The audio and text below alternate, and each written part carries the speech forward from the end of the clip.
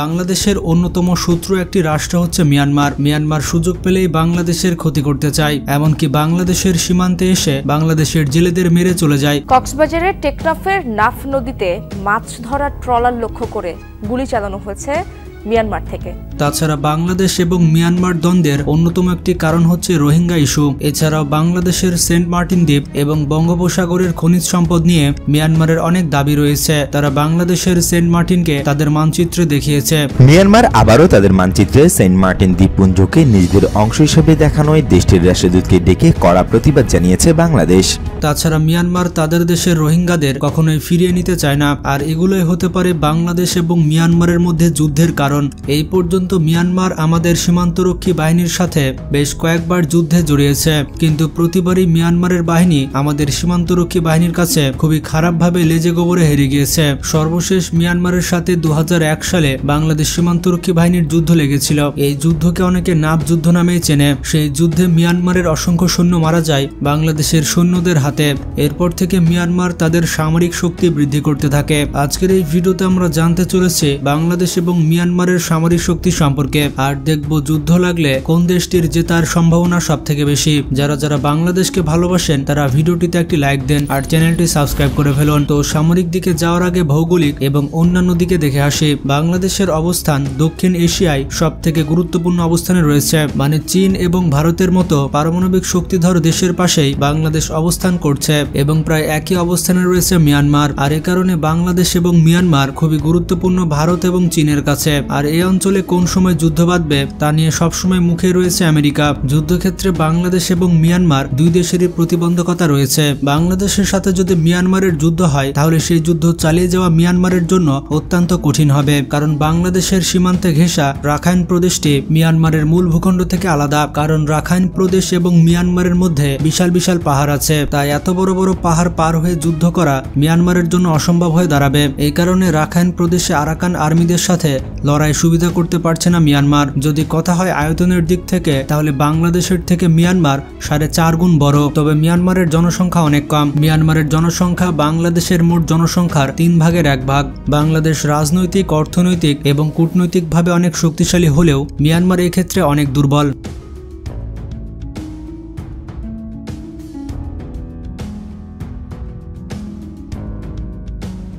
তবে সামরিক শক্তির প্রসঙ্গ আসলে মিয়ানমার অধিকাংশ ক্ষেত্রে এগিয়ে রয়েছে, যেমন গ্লোবাল ফায়ার পাওয়ারের সর্বশেষ র্যাঙ্কিংয়ে বাংলাদেশের অবস্থান সাঁত্রিশতম যেখানে মিয়ানমারের অবস্থান পঁয়ত্রিশতম।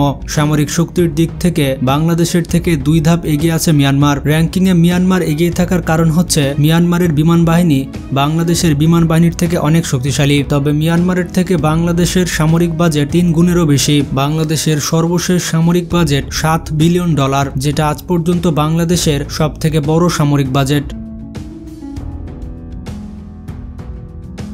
অন্যদিকে মিয়ানমারের সামরিক বাজেট হচ্ছে দুই বিলিয়ন ডলার তবে কম সামরিক বাজেট নিয়েও মিয়ানমার বাংলাদেশের থেকে অনেক বেশি অস্ত্র কিনে থাকে। সামরিক শক্তির পাশাপাশি গুরুত্বপূর্ণ বিষয় হচ্ছে দুই দেশের অভ্যন্তরীণ পরিস্থিতি। মিয়ানমার এই মুহূর্তে ভয়ঙ্কর গৃহযুদ্ধে লিপ্ত। মিয়ানমারে চলমান গৃহযুদ্ধ নিয়ে বাংলাদেশে উদ্বেগ ক্রমশ বেড়ে চলেছে। বিশেষ করে বাংলাদেশের সাথে মিয়ানমারের যে রাজ্যটি রয়েছে সেই রাখাইন রাজ্য অনেকটাই হাতছাড়া হতে যাচ্ছে মিয়ানমারের। মিয়ানমারের জান্তা বাহিনীর বিরুদ্ধে লড়াই করছে রাখাইন প্রদেশের আরাকান আর্মিরা, যারা মূলত রাখাইন বা মগ জাতিভুক্ত। আরাকান আর্মি যদি এই যুদ্ধে জিতে যায়, তখন রাখাইন বা আরাকান হবে বাংলাদেশের নতুন প্রতিবেশী। তাই মিয়ানমার সেনাবাহিনী আপ্রাণ চেষ্টা করছে রাখাইনকে বাঁচাতে এবং নিজেদের হাতে রাখতে। বাংলাদেশ এবং মিয়ানমার দুই দেশই প্রধানত চীনের অস্ত্রের উপরে নির্ভর করে থাকে। দুই দেশের সামরিক বাহিনীতে সব থেকে বেশি চায়নার অস্ত্র রয়েছে। তবে বাংলাদেশ এবং মিয়ানমারের বিমান বাহিনীতে সবথেকে বেশি রয়েছে রাশিয়ান যুদ্ধবিমান।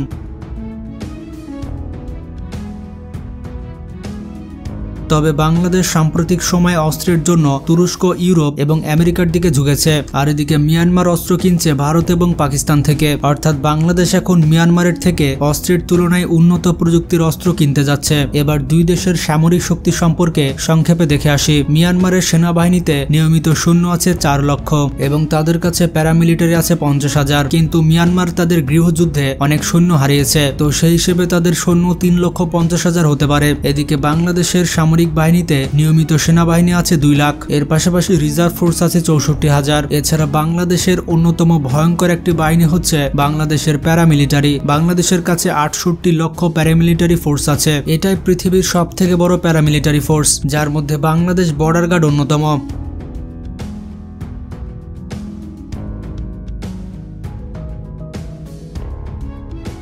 বাংলাদেশের বিশাল প্যারামিলিটারি থাকাটা মিয়ানমারের জন্য দুশ্চিন্তার কারণ। তবে অনেকবার বাংলাদেশের প্যারামিলিটারির সাথে মিয়ানমারের যুদ্ধ লেগেছে এবং বারবারই মিয়ানমার অনেক খারাপভাবে হেরেছে। এমনকি ভারতের বর্ডার গার্ডের সাথেও প্যারামিলিটারির যুদ্ধ লেগেছে। সেখানে ভারতের সৈন্যরা লেজ গুটিয়ে পালিয়েছিল।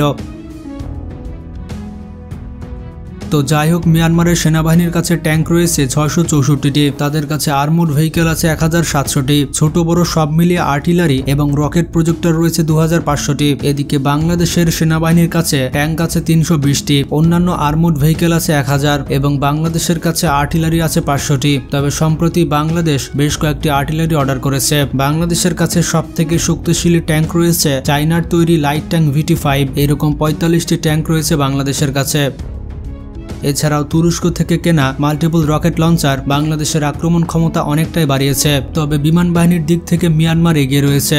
বাংলাদেশের কাছে চুয়াল্লিশটি যুদ্ধ বিমান থাকলেও মিয়ানমারের কাছে যুদ্ধ বিমান আছে সত্তরটি। অর্থাৎ মিয়ানমারের কাছে প্রায় দ্বিগুণ যুদ্ধ বিমান রয়েছে। তবে এখানে একটি সুখবর আছে, বাংলাদেশ পাকিস্তানের কাছ থেকে চল্লিশটি এফ সতেরো যুদ্ধ বিমান অর্ডার করেছে। এই যুদ্ধ বিমান বাংলাদেশ ডেলিভারি পেলেই মিয়ানমারের সমান যুদ্ধ বিমান হয়ে যাবে। বাংলাদেশের সব থেকে শক্তিশালী যুদ্ধ বিমান হচ্ছে রাশিয়ার তৈরি মিগ টোয়েন্টি তবে বাংলাদেশের কাছে মাত্র আটটি মিগ টোয়েন্টি নাইন থাকলেও মিয়ানমারের কাছে একত্রিশটি মিগ টোয়েন্টি নাইন রয়েছে। অর্থাৎ বাংলাদেশের থেকে মিয়ানমারের কাছে তিন থেকে চার গুণ বেশি মিগ টোয়েন্টি নাইন রয়েছে। আর এটা বাংলাদেশ বিমান বাহিনীর জন্য মোটেও সুসংবাদ নয়। অন্যদিকে মিয়ানমারের সব থেকে শক্তিশালী যুদ্ধ বিমান হচ্ছে দূরপাল্লার সুখুই এসিউ থার্টি। বাংলাদেশ ও মিয়ানমার দুই দেশই পঞ্চাশটির মতো এফ সেভেন ফাইটার ব্যবহার করে। যদিও বাংলাদেশের এফ সেভেন বিমানগুলো মিয়ানমারের তুলনায় আধুনিক এবং শক্তিশালী। মিয়ানমারের কাছে পাকিস্তানের তৈরি সাতটি জেএফ সতেরো ফাইটার বিমান রয়েছে, যেটা সম্প্রতি বাংলাদেশ পাকিস্তান থেকে অর্ডার করেছে। তবে পাকিস্তান দু সালেই বাংলাদেশকে এটা অফার করেছিল। তখন শেখ হাসিনা ভারত প্রীতির কারণে পাকিস্তান থেকে এই বিমান কিনেছিল না, কিন্তু পাকিস্তান একই অফার মিয়ানমারকে করেছিল। আর মিয়ানমার তখন সাতটি জেএফ সতেরো বিমান কিনে নেয়। বাংলাদেশ বিমান বাহিনীর উচিত দ্রুত বাংলাদেশ বিমান বাহিনীকে মিয়ানমারের বিমান বাহিনীর থেকে আরও শক্তিশালী করা।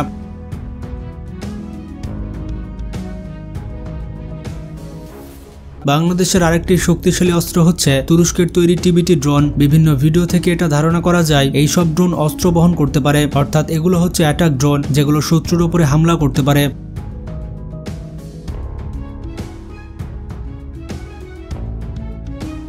এবার আসা যাক সব থেকে গুরুত্বপূর্ণ বিষয় নৌবাহিনী সম্পর্কে। বাংলাদেশের সাথে মিয়ানমারের সব থেকে বড় বিবাদ হচ্ছে সাগর নিয়ে, এমনকি বাংলাদেশের সেন্ট মার্টিনকে বিভিন্ন সময় মিয়ানমার তাদের মানচিত্রেও দেখিয়েছে। সাম্প্রতিক সময়ে মিয়ানমার তাদের তিনটি যুদ্ধজাহাজ বাংলাদেশের উপকূলের কাছে পাঠিয়েছিল। বর্তমানে মিয়ানমারের কাছে ফ্রিগেট আছে পাঁচটি এবং করভেট রয়েছে তিনটি। এছাড়াও মিয়ানমার ভারতের কাছে কিলো ক্লাস সাবমেরিন কিনতে যাচ্ছে। এদিকে বাংলাদেশের কাছে ফ্রিগেট আছে সাতটি এবং করভেট রয়েছে ছয়টি। আর এদিক থেকে বাংলাদেশ মিয়ানমারের থেকে এগিয়ে থাকবে। বাংলাদেশের কাছে দুইটি সাবমেরিন রয়েছে, যেটা চায়নার কাছ থেকে ক্রয় করা। এগুলো হচ্ছে মিন ক্লাস সাবমেরিন। বাংলাদেশের নৌবাহিনীর শক্তি মিয়ানমারের নৌবাহিনীর থেকে দ্বিগুণ বলা যায়। মিয়ানমার বিমান বাহিনীর দিক থেকে এগিয়ে থাকলেও বাংলাদেশ নৌবাহিনীর দিক থেকে এগিয়ে থাকবে। বিশেষ করে বঙ্গোপসাগরে সংঘাত তৈরি হলে মিয়ানমারকে বাংলাদেশ থেকে অনেক পিছিয়ে থাকতে হবে। এছাড়াও বাংলাদেশ আরও ছয়টি ফ্রিগেট তৈরি করার প্রকল্প হাতে নিয়েছে। এর পাশাপাশি বাংলাদেশে সাবমেরিন বেস তৈরি করা হচ্ছে এবং শোনা যাচ্ছে বাংলাদেশ আরও চারটি সাবমেরিন চায়নার কাছ থেকে ক্রয় করবে। তবে সাম্প্রতিক সময়ে মিয়ানমারের মধ্যে অভ্যন্তরীণ সংকট প্রবল আকার ধারণ করেছে। মিয়ানমারের বিভিন্ন রাজ্যে দীর্ঘদিন ধরেই সংঘর্ষ চলছে। সর্বশেষ সেনা অভ্যুত্থানের মাধ্যমে সেটা গৃহযুদ্ধে রূপ নেয়। প্রতিদিনই মিয়ানমারের কোনো রাজ্যে তাদের সেনাবাহিনী মারা যাচ্ছে। মিয়ানমার কোনো না কোনো যুদ্ধাস্ত্র হারাচ্ছে। কিন্তু তারপরও মিয়ানমার যে বাংলাদেশের উপরে আক্রমণ করবে না, এটা কোনোভাবে বলা যায় না। কারণ মিয়ানমার নিজেও বাঁচবে না, বাংলাদেশকেও বাঁচতে দিবে না। বিশেষ করে বর্তমান বিশ্বে অনেক উত্তেজনা চলছে।